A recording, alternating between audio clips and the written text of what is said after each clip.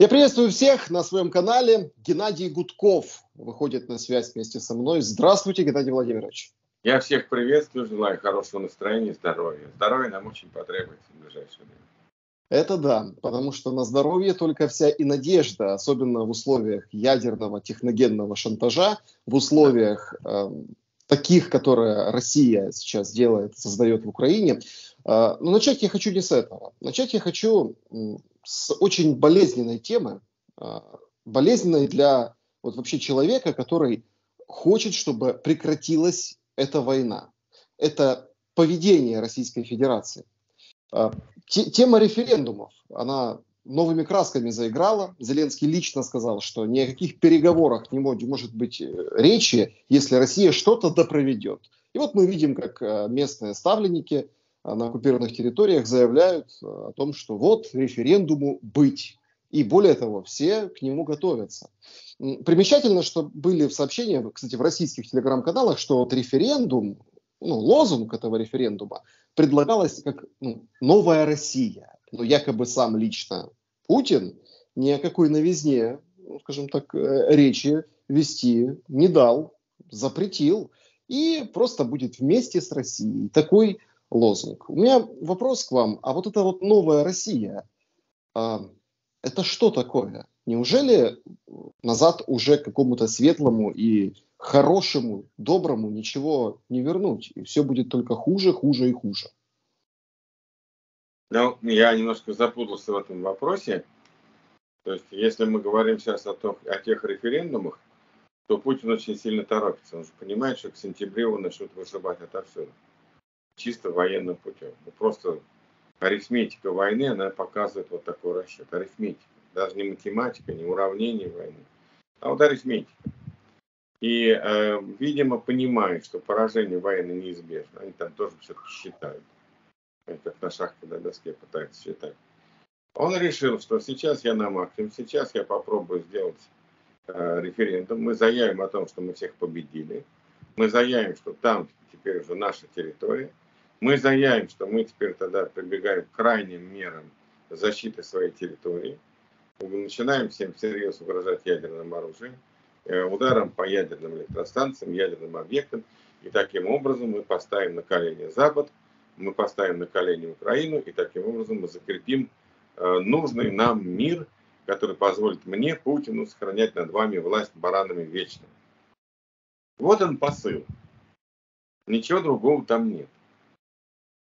Он свою-то территорию не может благоустроить, он Россию развивать не умеет. Там хотя бы сортиры это сделали нормальные бы. Хотя бы там остановки поставили более-менее нормальные. Заборы покосившиеся поправили. Дерево-то в стране немерено. Сделайте нормальный деревянный забор, да покрасьте одинаковой краской, если больше ни хрена не можете сделать. Подремонтируйте хотя бы чуть-чуть дома, хоть не так уж пос, пох, пос, похабно и постыдно было. Ничего это не делает он, ему надо новая территория. Но это не надо. Но ему не нужны новые территории. Ему не нужна Украина даже. Украина просто ему нужна, он ее опасается как страну, которая, имея худшие условия для старта, обеспечила за счет свободы и демократии лучшие условия жизни своим гражданам. Поэтому надо все разрушить, разбомбить, раздолбать, вызвать хаос, панику, огромное количество беженцев и так далее и тому подобное, чтобы украинцы лучше не жили. Иначе будут все говорить в России, а что ты там для нас сделал, что они живут лучше. У них не так много всего, как у тебя. А мы живем с тобой тут, как в сортире. Вот он этого вопроса боялся, и он делает все, чтобы уничтожить благосостояние украинского народа. И второй вопрос, это он должен укрепить власть, он должен объявить всему миру, что он, вернее, всей вот этой быдломассе и своей элиты в том числе, что он победил весь мир, что он великий победитель всего мира. Вот эти две задачи он решает, она, они преследуют только одну. Удержание, бесконечное удержание собственной власти, чтобы его не свергли, чтобы его своя же элита не придушила, как Акелу, который промахнулся. Это одна единственная, я все время говорю, что Путин решает одну единственную задачу – удержание власти любой ценой. Вот и все. Поэтому, что тут? Эти все референдумы. Почему мне нравится новая Россия? Ну, типа, это вот старая Россия, а тут появляется новая. И тут еще хрен знает как, а вдруг это новая Россия возьмет, да, делиться, да скажет, а давай-ка мы там что-нибудь такое сделаем. Вдруг, вдруг какой-нибудь там придет товарищ, который скажет, так нахрен мне нужен Володя Путин. Я лучше сейчас договорюсь с Европой приведу эту новую Россию в лоно Европы. А почему бы и нет? Я думаю, что на всякий случай его этого опасаться и типа вот вместе с Россией. Чтобы никакой там ни автономии, никакого даже намека на возможность формирования чего-то, чего бы он не контролировал. Но это тоже понятно. Это новая Россия. Он боится любой конкуренции, даже виртуальной, даже вот э, гипотетической. А почему конкуренции Путину вот за эти 20 с лишним лет так никто и не составил? Ну, это сек... Все те, кто составил, либо убит, либо сидят, либо выдавлены из страны. Просто их нет в России. И они не могут выжить в России. Созданы условия, при которых в России не выжить не могут. Ну, вот Алексей Навальный. Где? В тюрьме. Боря Немцов. Где? В могиле. Там берем кого там, Женя Розлин. Ну, слава богу, что пока жив-здоров, пока еще на свободе. Берем кого то ну, яркие фамилии там. Илья Яшин в тюрьме. Там, Дмитрий Гурков в эмиграции. Я просто беру помоложе ребят вот, другого поколения, которые могли бы, так сказать, там, занять достойные места и начать реформу. Там Ходорковский в изгнании там, и так далее. Мы берем там а, и оказывается, что в России все либо выдавлены, либо убиты, замучены, либо в тюрьме, и поэтому таким образом ну, Путин нет конкурента. Геннадий Владимирович, здесь э, очень важный момент э, по поводу тех, кто выехал, кого выдавили, выгнали, выжили буквально из политической любой жизни российской. Тут депутат Журавлев из ЛДПР заявлял о том, нет, что... Нет. Депутат Журавлев не из ЛДПР. Он представляет типа партии Родины, которая типа создана Рогозиным или под Рогозиным, или вместе с Рогозиным. Я Лешу очень давно знаю, много лет. Э, он постепенно, но неуклонно превращался в полного отморозка. Конечно, таким не был. Когда мы с ним познакомились, еще был Рогозин, моим товарищем, с хорошим знакомым, и мы там были на «ты», и много чего там говорили, и много чего обсуждали, в том числе критиковали Путина и его режим. Но вот он постепенно превратился в конченого отморозка Леша Журавлев. Ну да, это к тому, что он сначала единожды заявлял, что всех российских оппозиционеров нужно найти и перестрелять, и поубивать за границей. Потом подтвердил свои слова, несмотря на то, что там, там ЛДПР говорит, нет, это бросает тень на всю нашу политическую силу, мы не поддерживаем такого радикализма. Откуда вообще берется этот радикализм? В умах и на языках таких людей? Да они в психоз впадают. У них уже это шизофренические бредни начинаются. За бред параноидальный. Психопатия в чистом виде. Ну что, я Лешу не знаю? Ну, знаю я его прекрасно, как облупленного. Вот. А когда он там впадает в этот враж, сам себя вгоняет вот в это состояние какого-то такого шизофренического бреда, вот они там и бредят. А что там? Ну, ладно, там Федор просто больной человек. Э, Женя Федоров. Ну, тоже, так сказать, политически больной человек. В медицинском смысле этого слова, к сожалению. Вот. Неплохим парнем был, кстати говоря, когда-то. Э, но вот сейчас они все, все, все, все параноики, все шизофреники, все психопаты, все какие-то эти самые. Но еще тут надо доказывать что каждый день лояльность. Чем доказывать? Вот они доказывают там. То Дим Медведев, так сказать, там сбрендивший начнет какую-то хрень о количестве нести, так сказать, э, фашистского толка, что немцы стеснялись говорить то, что он говорит Медведев. Немцы стеснялись. Им как-то было неудобно, что Европа о них подумает, что они такие, какие они есть. Ну, я имею в виду фашисты, не нацисты, не немцы, конечно. Нацисты. Нацисты стеснялись это говорить. Медведев не стесняется. Но на, даже именно нацисты в самые худшие времена не осмелились говорить то, что говорит Журавлев. Что, ну, они же совсем сошли с ума. Это, это просто вот э, острой психопатии политического какого-то толка. Вот пусть психиатры поставят. Это, это не моя епархия ставить им э, диагноз. Они все больные. Начиная с Путина, который выпал полностью из адеквата, из здравого смысла, из всех этих человеческой морали, нравственности, из э, сострадания. Да, ну, вообще ничего нет. Он выжил, выж, выж, выжег. Он выжег в себе все человеческие качества. Вы видели когда-нибудь от Путина проявление? Ну, сострадание, не знаю, там, доброты, любви, а, какой-то там симпатии, э, вот, э, чтобы к людям, там, к окружающим, не знаю, там, кого-то он пожалел, кого-то... Да он нет же. Он когда-то там один раз мальчик в пупок поцеловал, э, где-то там на площади, чего там, что не нашло, не знаю. Своих, своих дочерей он в упор не видит. Там брачных или не брачных, да не имеет значения. Алина Кабаева, то ли жена у нее, то ли не жена, то ли гражданская, то ли не гражданская. Судя по всему, что-то у них там точно есть.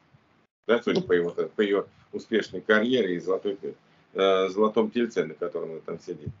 Ну ты хоть прыгай, хоть, не знаю, хоть мы тебя увидим как человека. Мы за 22 года не видели никаких человеческих проявлений со стороны Путина. Никогда. Ни к своим ни родным, ни близким, ни к детям, ни к внукам, никому. Ну, хоть Шойгу в лобик поцеловал. Ну, мы бы хоть и это поняли. Ну, чмокни ты его в лобик, Сережа, там, э, Кужугетовича. Он тебя там по, по тайге водил, там, то ли прикладывал тебя к местам сил, то ли ты сам прикладывался, то ли вы там собаку, так сказать, душили, травили, так сказать, приносили в жертву, то ли вы ее не приносили в жертву, то ли вы мазались там кровью молодого морала, то ли вы не мазались кровью молодого морала. Ну, поцелуй хотя бы его. Скажи, я люблю Серегу Шойгу. Ну, хоть мы понимали, что он хоть кого-то любит. Ну, хоть кого-то. Но только такой тип личности может э, поработить народы такой большой страны. Да Получается нет, так? Почему? Нет, ну нет. Ну. Э, хотя, черт ты знаешь. Может быть, действительно отсутствие эмпатии – это вот прямой путь к э, вот тирании такой безоглядной. Может быть. А вот надо проанализировать. Сталин был такой же, да? От него жена, так сказать, э, покончила жизнь самоубийством. Своего сына он отдал там на растерзание в плен, не пошел на обмен. Ну, много чего сделал. Сталин был такой. Владимир Ильич Ленин был очень похож, кстати говоря. Тоже там никакой страдания, никакой любви. Те он не любил, как это выясняется. Это нам все сказки рассказывают. Терпеть к нему. Сопли там потирать. Вот. Кто у нас еще это был? Я не знаю, каким был Полпот. Я не знаю, каким был Гитлер. Но Гитлер кого любил? Ева Браун под конец своей жизни. Я тоже не знаю, что Гитлер кого-то любил. Кого-то любил Гитлер? Что-то я сильно сомневаюсь. Не знаю. Я, я... Но говорят, он, правда, очень хорошо относился к своему аппарату, к своим помощникам. Вот мне такая была. Но, то есть он не сексуально там их домогался, этих девочек, которые с ним работали. Но вот э, якобы к ним очень хорошо, по-доброму относился. Да хоть что-то человеческое. А так вот мы тоже не знаем, что Гитлер кого-то любил, кому-то был привязан. Ну, хотя у него тоже, он, он все равно хоть, хоть Киевый бравый, но не стеснял, не скрывал свои, свои, так сказать, отношения. А этот ко всем скрывает. У него же вообще никакой, говорю, извините за выражение, извините за выражение, скажу, а у него какая-нибудь бабка есть хоть? Вот которого он любит. А я вот что-то не вижу. Вот не, не, не вижу, не знаю. Поэтому я не знаю, там, что вот у других диктаторов. Интересно вообще, честно говоря, никогда не задумывался. Может быть, действительно отсутствие эмпатии и возможность выжигать все, все человеческие качества является неотъемлемым свойством какого-то диктатора, который может э, пролить огромную кровь. Вот надо, вот просто вот историки, помогите нам разобраться. Э, моих знаний не хватает. Да, напишите в комментариях, что вы об этом думаете, кстати. Это очень да, интересная да. тема, потому что мы на нее вышли из простого человеческого общения. И вот сесть и по-человечески пообщаться, ну, можно, наверное, с любым человеком, но вот получается не с таким, как Путин. А, я хочу задать вопрос очень, ну, очень интересный в плане того, что Путин э, как бы отказался ехать на Генассамблею ООН, и, собственно, поедет Лавров как глава делегации, ну и, собственно, ну, об этом объявил Песков. На самом-то деле, ну, как-то и не шибко, наверное, и рады были бы Путину лично на это. Я думаю, чтобы ему там устроили обструкцию, почему он не поехал? Если мы его там приняли, заглядывая в глаза там и сказали, Володя Путин, рада тебя видеть, убивать, ура, хотя бы там какая часть, он бы поехал. Он бы поехал. Мне тут рассказывали очень поставленные лица в Европе, как раньше Путин приезжал на совещание. Опасно везде. Даже на совещании европейских лидеров. И находились прихвостни, которые, когда он там заходил, не поздоровавшись, не извинившись, находились прихвостни, прихвостни, которые к нему кидались, чуть ли там не во внимание, так сказать, чуть ли там не пытались ему хлопать. Ну, типа Виктора Орбана там и подобные такие подстилки. Это мне прямо рассказали в красках на несколько совещаний, как это было.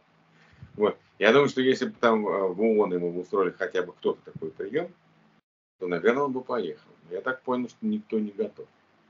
Никто не готов. Нет, может, есть только этот. Но я не знаю, Ким Чен Ын это приглашает или нет. Наверное, нет. Может, только если Ким Чен Ын к нему бросится как родному, и то я сильно сомневаюсь. Потому что, мне кажется, Ким Чен Ын сейчас сидит тихо, его там, э, когда видит народ, там начинает плакать, рыдать, за ним бросаться в море, в океан, я это видел, интересно. Э, кстати говоря, в своем твиттере сделал репост вот этой маленькой маленького видео, там, когда народ там идет прям в, одежде в море за своим этим вождем. Народ чокнутый, вождь чокнутый, страна чокнутая, но тем не менее. Вот, поэтому я не знаю, там, я думаю, что Путина просто там вообще никто не ждал, никто не собирался ему там преданно заглядывать в глаза, пожимать руку. То есть вот эта эпоха прихвостней, она закончилась. Путин изгой, абсолютно. Вы знаете, Эрдоган вообще отказался с ним ручка, ручкаться, ужинать и давать совместную пресс-конференцию.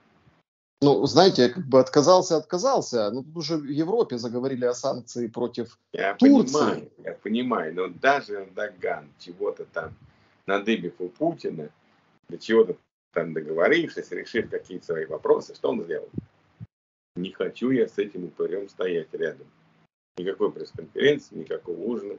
У меня дело вот так вот, ребята, я поехал. Это как, показатель. А что как вы думаете, да, как вы думаете, а Эрдогану аукнется? Ну, не будет хороших отношений между Путиным и Эрдоганом, это уже понятно. Они э, товарищи по несчастью. Вот э, как бы не было бы счастья, да несчастье помогло, да? Вот, потому что у Эрдогана проблемы с Западом, Эрдоган отовсюду выпал. И Эрдоган пытается разыгрывать путинскую карту для того, чтобы какие-то достичь, своих, достичь каких-то своих результатов. Ну, он же может сказать, вот я, ребята, вот служу вам, я же посредник, я организую мирные переговоры, разблокировку порта.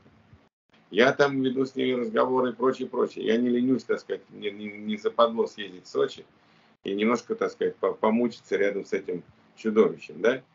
Видите, какой я, я вот. Ну да, я какие-то свои вопросы решаю, но я же делаю для вас. Вы уж меня верните в программу перевооружения НАТО. Я же член НАТО. Вы там сделайте так, чтобы там мои враги заткнулись, а у меня перевыборы в 23 году. А мне как-то надо их перевы, пере, перевыборы переиграть, перевыиграть, потому что куда же я денусь от власти, я уж там столько натворил. Я уж столько лет у власти, как же я сейчас выйду, я уж в ней прикипел. А как же я буду без этого, как сказал этот, э, белорусский упырь? Как же я без власти-то буду? Я уже не могу по-другому, типа, ребята, извините. Вот. Ну, примерно так же, Эрдоган, наверное, так же мыслит, примерно в таком же ключе, хотя пока в Турции демократия значительно больше, чем было в России еще там до 19 года. Вот.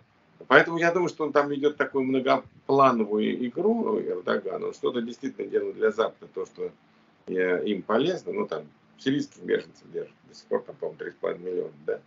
Он там действительно э, вот, решает вопрос посредничества, разблокировки, вот эти караваны, вот эти вот то есть, как бы он взял на себя вот эту работу ассенизатора, такого неприятного, но нужную работу, типа, вот в этом дерьме возиться в путинском. Поэтому, э, да, но тем не менее, все-таки он говорит, не, а я стоять с ним не буду. Вот, мы договорились, и ладно. Это вот как бы прагматика, это утилитарный подход. Ну, стоять я с ним, там, обниматься, так сказать, клясться в любви и дружбе не буду. Вот, я поехал, мне тут некогда с вами. И мы это видим. Ну, что делать? Ну да, вот такой это Эрдоган. Он ведь тоже не демократ мягко выражаясь. Ну, такой исторический путь у этого политика. А... Такой исторический путь. Хотя, ну, вроде как мне сказали, турки был очень неплохим мэром Стамбула в свое время. Ну, люди портятся. Геннадий Владимирович, а что за слухи, ложь, инсинуации базу в Сербии собирается ставить Российская Федерация? Да не успеют, даже если собирают.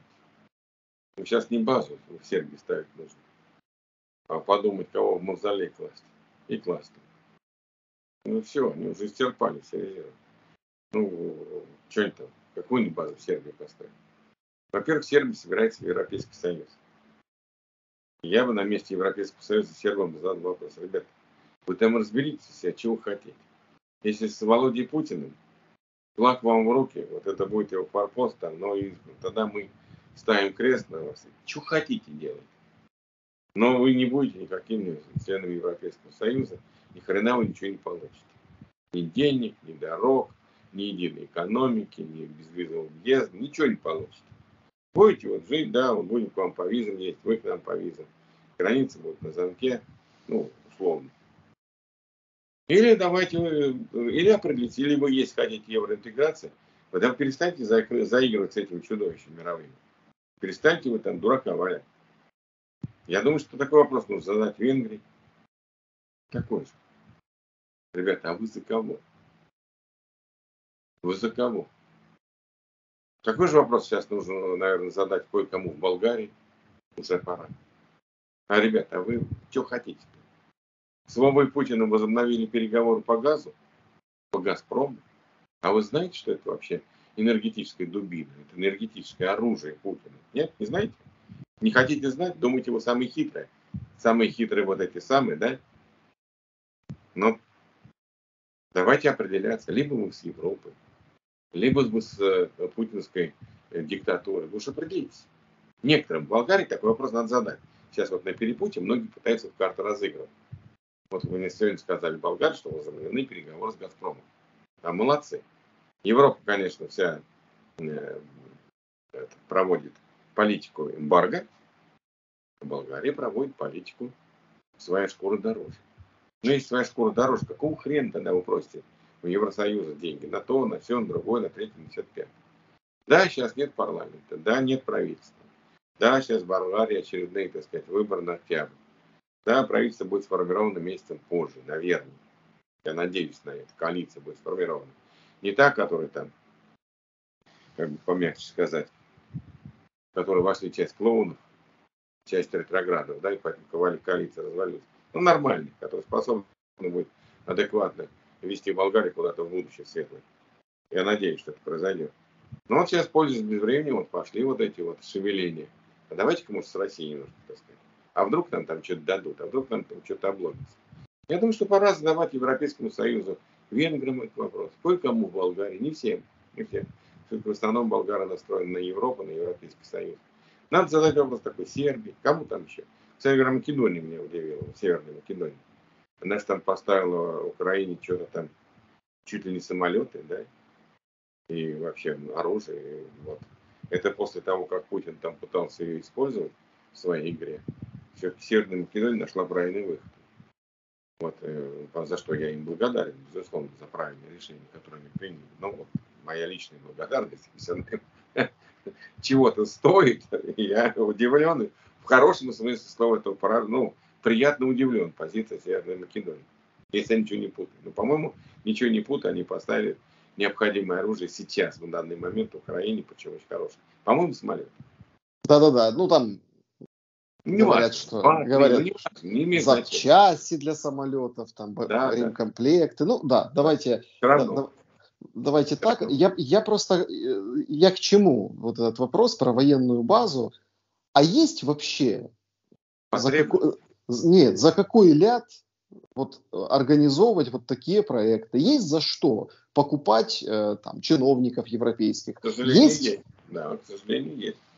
У Путина еще много денег это не звучит дико, как бы, так сказать, при нарастающем эмбарго и сокращениях закупки э, нефти, этих самых газовых ресурсов, как это не звучит э, дико при аресте половины, там почти, ну, 40% золотовалютных ресурсов. Путина хватает денег на это.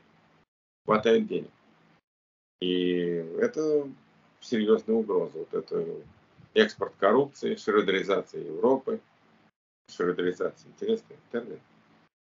Спасибо Шредеру дал этому явлению э, свое имя. Теперь оно это именно всегда с его именем будет связываться. Вот этот процесс покупки э, и полного перерождения э, каких-то маразм, маразм, маразматических уродов западных политиков. Вот таким стал Шредер. Я просто к чему? К тому, к, тому, к тому, что вот если все есть, и деньги есть, э, добровольцев собирают по всей России – Э, какие-то там выплаты от 2 до 5 тысяч долларов предлагают добробатам, повестки в Москве бросают, ни слова про конфликт в Украине, про войну. Не-не, это под повестки, пожалуйста, подпишите контракт. А тут прошла информация, что, извините, Северная Корея, выше вами упомянутая, чуть ли не 100 тысяч солдат бравых корейских северных отправит в Украину, ну это же не признак это силы. войны. Фактически это, это объявление войны. Это признак слабости и объявление войны. Ну, да. я думаю, что это все-таки блеф. Где она Корея, а где тут, э, так сказать, поля сражений в Украине. Я думаю, что это блеф. блеф. Если и это состоится, то я буду считать э, процесс э, помешательства и умопомрачения в Кремле окончательным, бесповоротным и неизлечимым. Я думаю, что и мир должен это понять, что все там товарищи маразматики в Кремле полностью неизлечимы и невменяемы. Ну, я надеюсь, что это не произойдет. Но, опять-таки, я уже, знаете, вот многие же меня убеждали до 24 февраля, что войны никакой не будет, это блеф. А я говорил, э, я тоже не верил в широкомасштабное вторжение, но я думал, что по югу будет удар. Предупреждал и говорил, что об этом, в том числе на украинском э, телевидении, говорил неоднократно.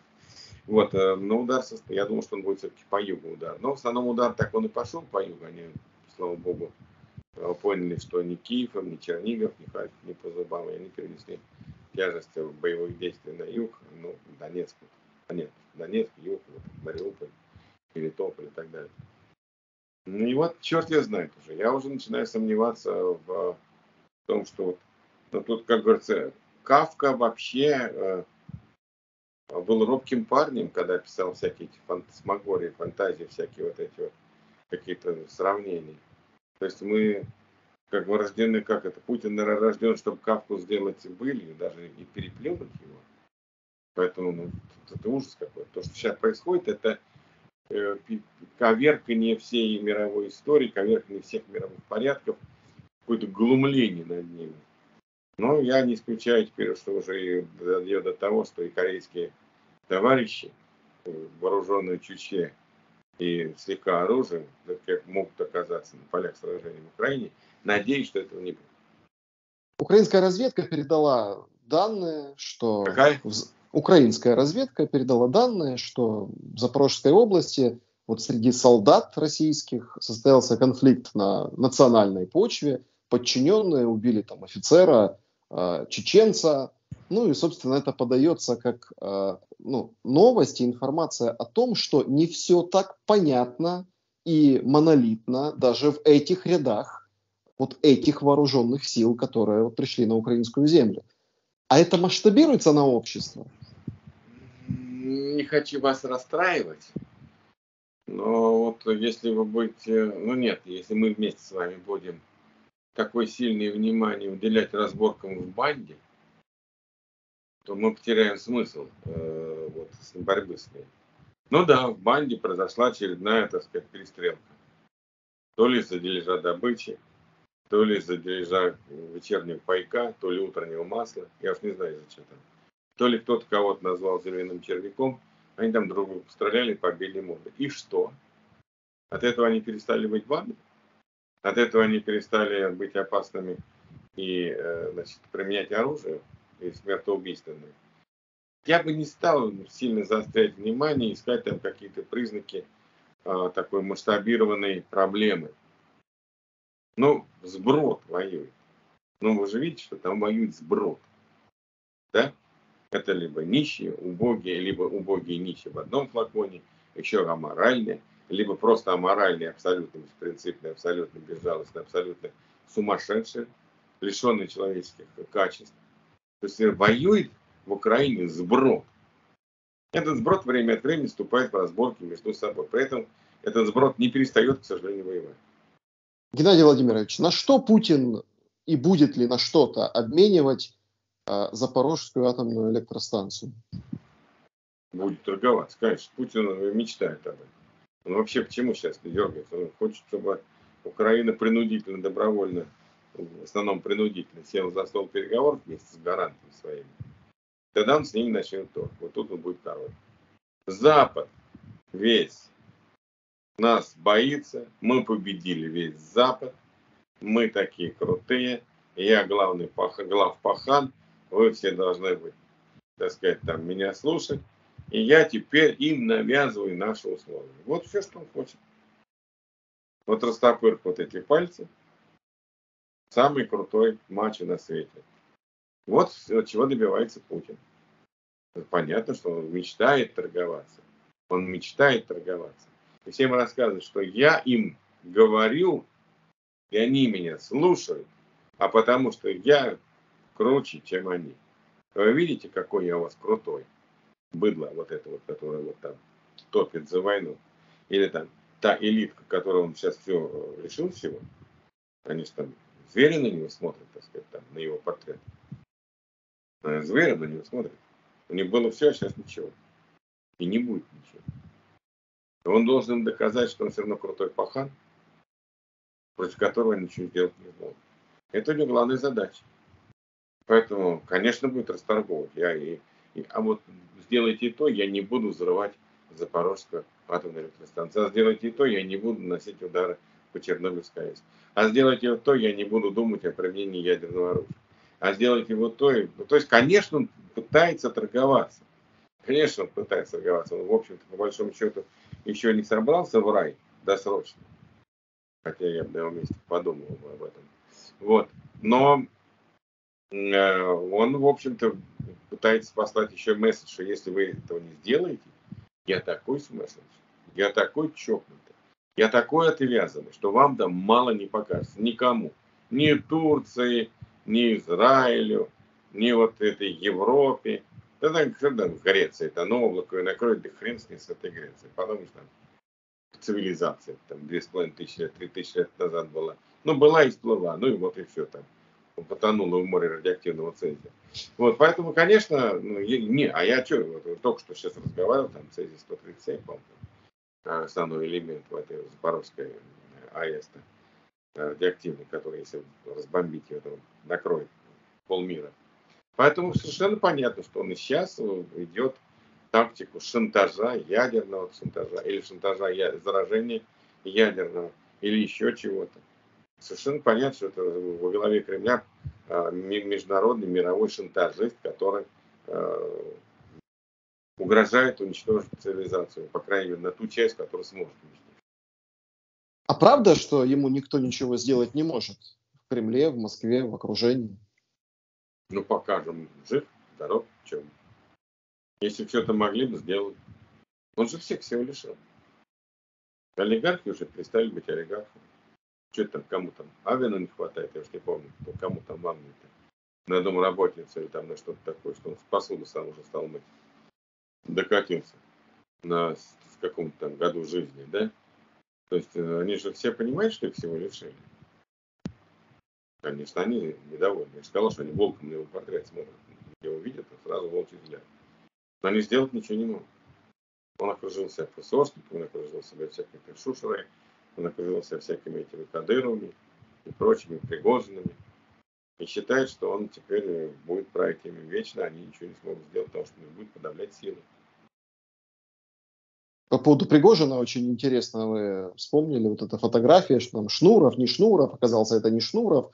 Ну, собственно, ведь у Пригожина с тем таки Кириенко были достаточно напряженные отношения, а мы видим, как власть российская использует Пригожина, ЧВК Вагнер, ну и, соответственно, Кириенко при деле тоже колесил по оккупированной Украине. Как вот это вот жаба и гадюка уживаются? Да они никак не уживаются. Жаба занимается своим делом, гадюк своим. Там, где они пересекаются, Путин никуда не пускает. Это все. И жаба пошла в ход, и гадюка пригодилась. И какая-нибудь там еще подколодная змеюка типа Лаврова там. Значит, там друг друга все ненавидят. Они друг друга все там ненавидят, они все на многие. Жесточайшая борьба кланов. За близость к телу, за близость к потокам финансовым, за близость к бюджету, за близость там, к чему-то еще, за непоколебимость своих, так сказать, позиций. Битва идет. За расстановку своих людей – то есть там же банк с пауками. Это не, как это, серпентарий единомышленник. Это правильно сказать? Где, где гадюк держит? Серпентарий? Да. Вот серпентарий единомышленников, это российский Кремль. Они все там друг друга ненавидят. Силовики ненавидят экономистов, экономисты условно ненавидят силовиков. Одни силовики ненавидят других силовиков, прокуроры ненавидят. Следователи, следователи ненавидят ФСБшник, ФСБшник ненавидит вообще всех. Ну и так далее. Там. как это, чем больше я узнаю там э, этих милиционеров, да, тем, или чем больше я узнаю таможенников, тем больше мне нравится милиционеров.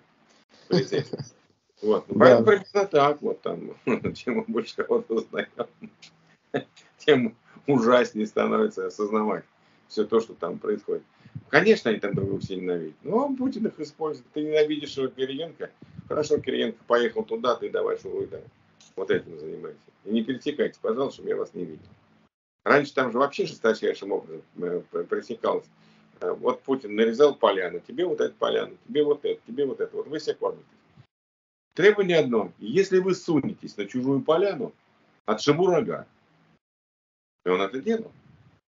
Он это делал, чтобы Газпром хотел свою партию, свою фракцию в Госдуме. Куда поставили Газпром? Вот примерно туда, куда и российский корабль.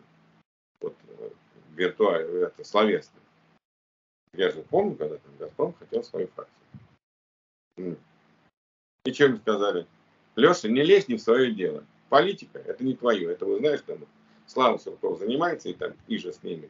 А ты вот занимаешься Газпромом. И не лезь ни хрена никуда.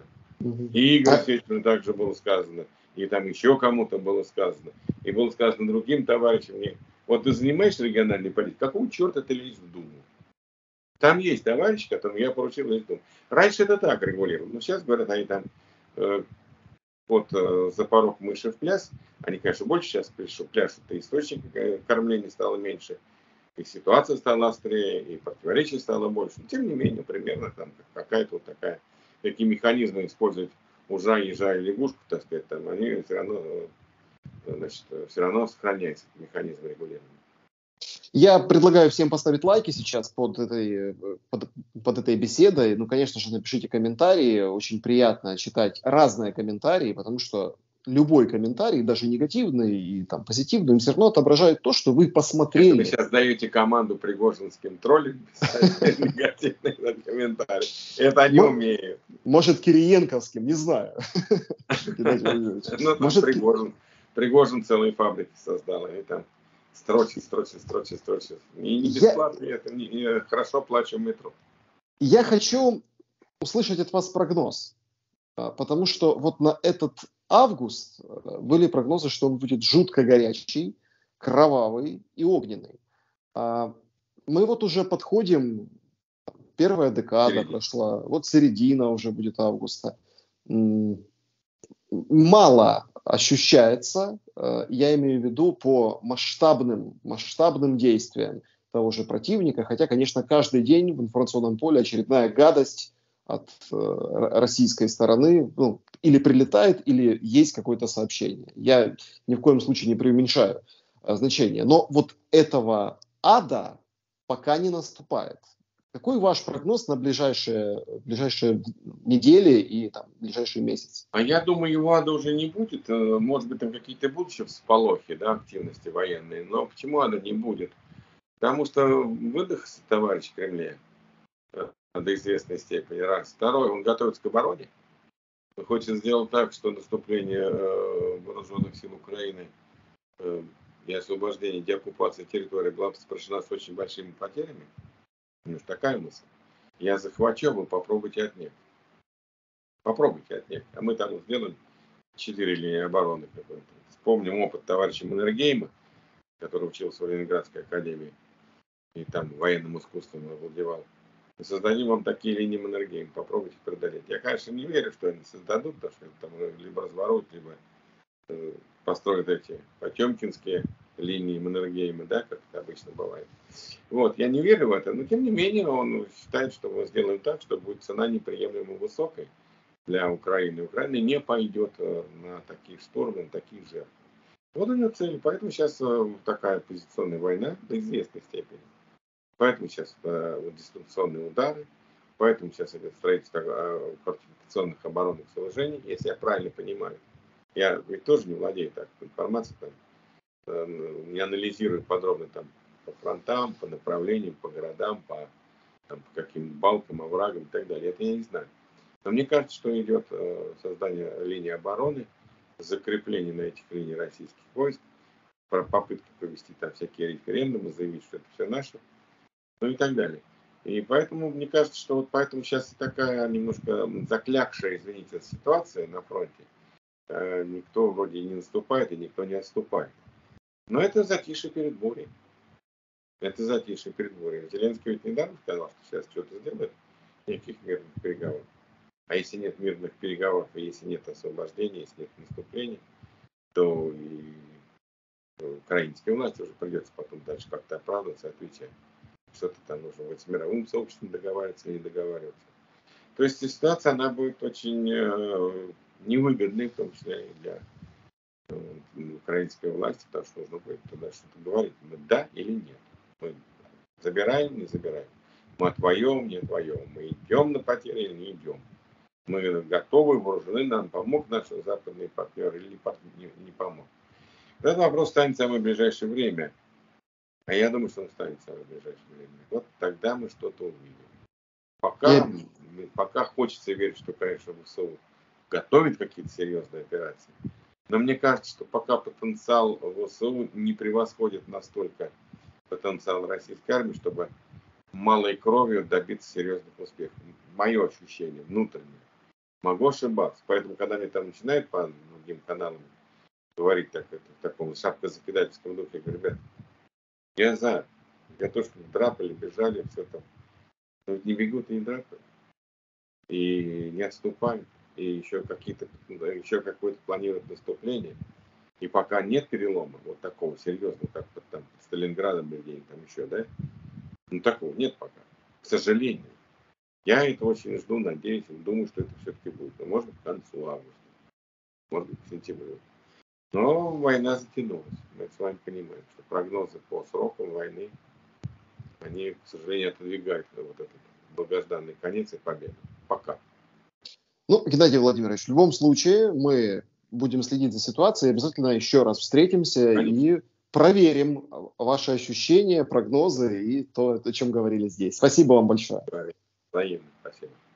Друзья, спасибо за просмотр этого видео. Подпишитесь на канал, поставьте лайк и будьте вместе с нами. Увидимся. Берегите себя.